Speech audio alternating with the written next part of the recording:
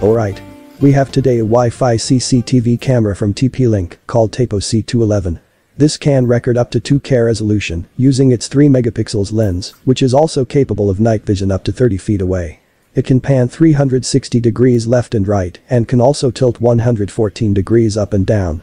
It can detect a person, motion and even a baby crying, and you have the option to push all these detections as a notifications to your phone. There's also a good motion tracking here, where when the camera detects a movement, it will follow that moving person around focusing it to the center of the recording. I'll show how good this is later. The C211 has built-in speaker and microphone, so we can also talk two-way here. There's also a privacy mode, where in just one tap, you can pause all recordings to give you time to do whatever you want to do in front of the camera. We have a technical support number here in the box, which is nice. There's device sharing, where you can share the device to multiple cell phones and have multiple people view and control it.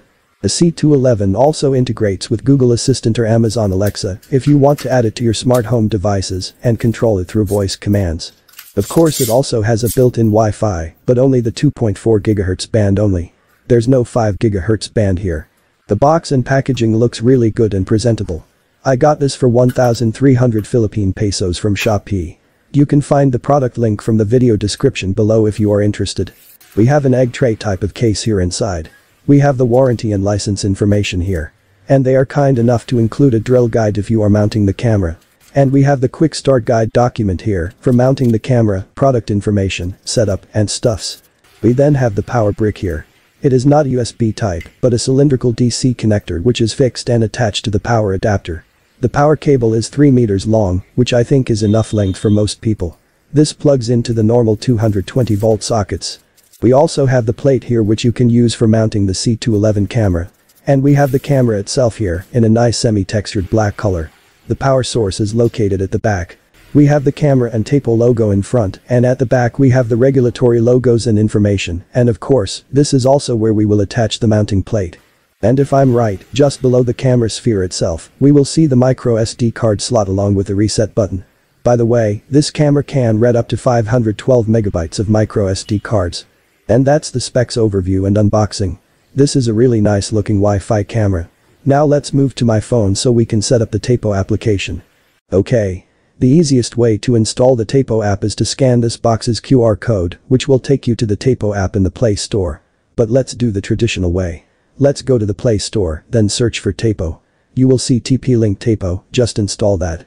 Once installed, open it. Of course we will need to accept the terms and conditions. It's up to you if you want to check and join the user experience program, but for me, I'll skip that. Then let's tap continue. Now, we will need to log in using a TP-Link account. If you have one, you can use that. Otherwise, you will need to create one. It's the usual steps. Just register your email address, set your preferred password. Then a verification email will be sent to you. You just need to tap the link from the email to activate your account and you're ready to log in using your new registered TP-Link account. After logging in, you will need to give the Tapo app the permissions it needs. Then you can choose a theme, either light, dark, or just follow the system theme. And we are in. Let's go to the Home tab. Then let's go to the All Devices. From here you can tap Add Device to add our C211 camera. Let's tap on Indoors Camera. Then let's select the model of our camera, which is C211. Now it's time to power on our camera. Let me just plug this in. Okay. As you can see the infrared sensors and the LED indicator is on now. LED is a steady red. In the app, it says that we need to wait for about 30 seconds and the LED will be an alternate blinking red and green. It's blinking red now. Let's wait for it to be red and green. There we go. It's alternate red and green now. Let's tap next. Then tap enable to allow the Tapo app permission to our phone's location. Tap next again. The camera is moving by itself now. When it boots up, it always pan 360 degrees and then tilt up and down, so that's normal. Now we need to connect to the device. The camera is generating its own Wi-Fi network, which is where we'll need to connect. Alright. We are connected. Now we need to select the Wi-Fi network in our home which will be used by the camera. So make sure that you select the Wi-Fi nearest to where you'll place the camera. After selecting, you will need to input the password of the Wi-Fi, which will be saved into the camera. After that, you will then need to change your phone's Wi-Fi connection. You will need to connect to the same Wi-Fi network that you have selected earlier for the camera. Basically, the phone and the camera needs to be on the same Wi-Fi network connection. Let's try again to establish the connection between the phone and the camera. There we go. Now we can set the name of the camera. Whatever you want. Then select or enter a place where you'll put the camera. Now select an icon for the camera. Now you have an option here if you want to view the details on how to mount the camera. Or you can just tap sounds good to go to the next page. TP-Link also offers a cloud service where you can save all your recordings. It's up to you if you want to subscribe to that, but for me, I'll skip. Some few more reminders here for storage and firmware updates. Just tap the button below the screen to continue. Okay. The camera is now here, listed in the devices. And before we go further with the Tapo application setup, don't forget to insert the micro SD card where the recordings will be saved. As mentioned earlier, the card slot is located in the bottom part of the camera lens sphere. Just gently tilt the lens upward to see it and insert the micro SD card as you would on laptops or card readers.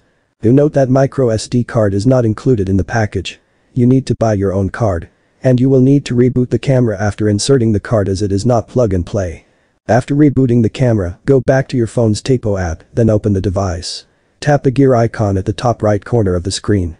Then go to storage and recording. If the card is new, you will see here that it is marked as unformatted. Tap that. Then tap on initialize. This will now format the microSD card and make it suitable for the Tapo C211 usage. Format complete. We can now turn on the loop recording. And when we go back, you will see that the microSD card is now marked as good and we can enable the card recording. When you go to recording schedule, you can set here the time and day when you want the recording to happen.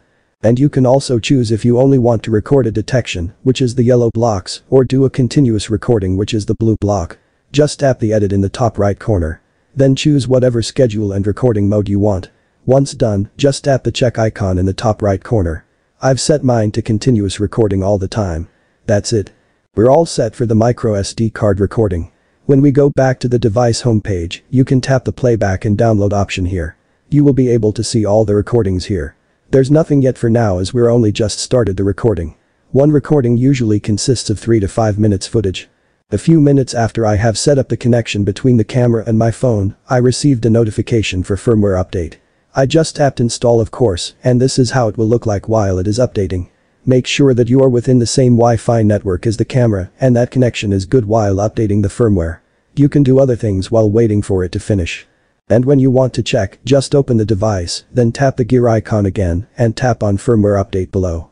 There we go. Firmware has been updated. Alright.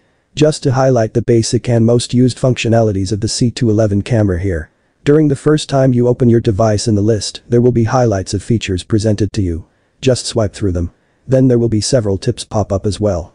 Just swipe through them again. Here we go. We can now see the live feed from the camera, which is maybe how we're going to use this Tapo app 98% of the time. Just viewing the camera's feed. I am very far from the router right now, so the live feed might not be that responsive. But this is basically how you'll view the live feed of the camera. Another thing that you'll probably use the most here is the pan and tilt function. You can just tap on that. Then from here, just tap the arrow where you want the camera to point. Here we go. As you can see here, the camera is very responsive. It perfectly pans and tilt depending on what arrow I press from my cell phone. Again, the live feed is not that great as I'm very far from the router now. The third and last one that I think will be very useful for everyone is the talk function here. Just tap the microphone icon, it will open this page with a larger blue microphone icon. If you want to talk, you just need to tap and hold the microphone icon while you are speaking. This is how you'll communicate with the person beside the camera if you are away. This makes a two-way communication possible. Let's now test the motion tracking of the C211. But first let's make sure that it is enabled. In the Tapo app, open the camera.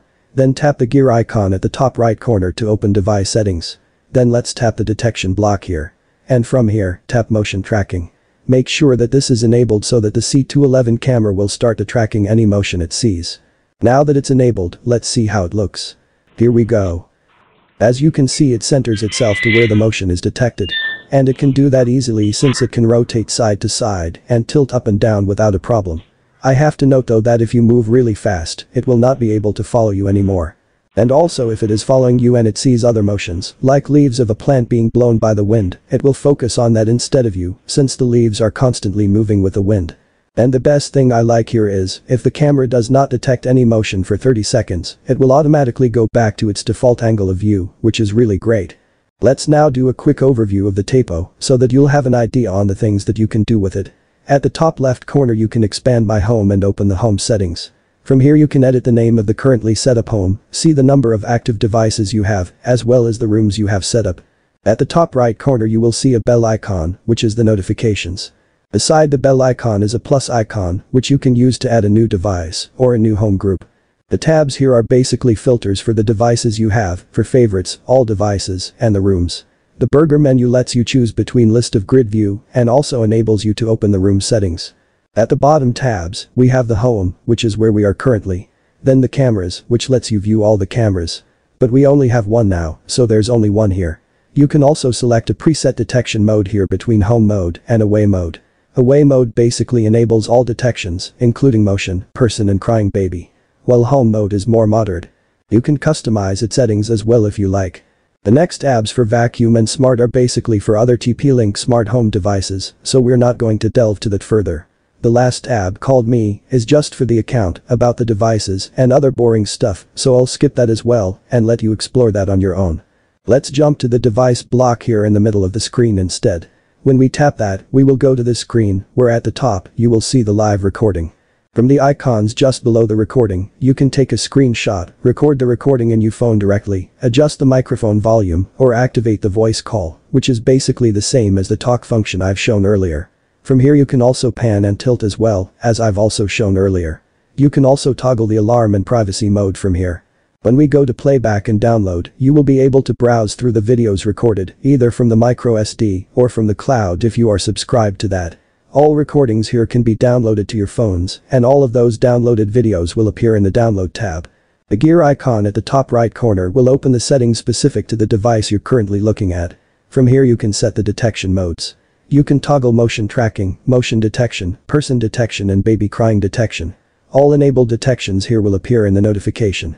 You can also toggle the alarm here, in case you want the camera to sound the alarm if it detects anything. In the pan and tilt, you can set how many degrees the camera will move on each press of the arrows, and you can also perform a pan and tilt correction here. TapoCare is the TP-Link cloud service, so you can subscribe or ignore that. Storage and recording is where you can format the micro SD card, toggle if you want to record on that card and if you want to include the sound in the recording. From here you can also set the schedule of the recording. Video and display will let you set the video quality, which can be up to 2K resolution. I have invert image enabled here since I got my camera set up mounted on the ceiling and it's upside down. You can also set privacy zone here or the area where the camera will not record. You can set the display in the recording from here as well, with choices of date and time, a text, or a logo. And I don't know what this display tag on screen is. If you know, do let me know in the comments below. Going back, you can also toggle the status LED in the camera as well, to show or turn it off. You also have the Wi-Fi signal strength here. And a toggle for a privacy mode, which when turned on, all recordings will stop. A toggle for notification is also here. I would suggest that you leave the advanced settings as is, especially if you don't know all these technical stuffs that's in here, like me. For the share device, I will go into that later, in details. All the rest here are mostly for administrative paperworks and software update stuffs, which are all self-explanatory and no need to explore them in this video. Alright. Some of you might ask, what if my phone is connected to a different Wi-Fi network than the one where the C211 camera is connected to? So here's a special chapter in the video to answer that. As you can see, my phone is now connected to a Converge Wi-Fi, while my C211 camera was set up to connect to our PLDT Wi-Fi network. And as you can see here, I can still view the live feed of the camera C211 and I can also do all of the controls, like microphone volume, panning, tilting, and everything. So it doesn't matter what network your phone is connected to, as long as you and the camera is online, you can control it anytime and anywhere. Now to the last chapter of the video, which is setting up other phones to control the same C211 camera. First, from the first phone you've set up, which is my Galaxy S23 phone, open the Tapo app, then open the device, and tap the gear icon in the top right corner to open the device settings. Let's then scroll down and find the share device menu. Then let's tap the share icon at the bottom of the screen. There will be a notification here that the account where you shared the device will have limited access rights to some functionalities, which for me is a good feature to limit other users on the device settings. Now, you just need to type in the email address of the person you want to invite. Of course, this email address should be the one signed up to TP-Link. from the other phone, which is my OnePlus 7T Pro, where I have already set up the Tapo app and have signed up using the email address I sent the invite to. Inside the Tapo app, you should see a notification from the bell icon at the top right corner with a red dot indicating there is an unread notification for you. When we tap that, you will see the invite sent from the other account. We can just open that notification, then tap accept. OK. Success. Now, the main gate is listed in this phone's device list. You can now open it from this phone and do all the common functionalities on it, except updating the device settings, as those can only be updated by the main account from the Galaxy S23. If you enjoy this video, give me a thumbs up. If it has helped you in any way, please do consider subscribing to the channel. Nilasuj for watching. Nova Air.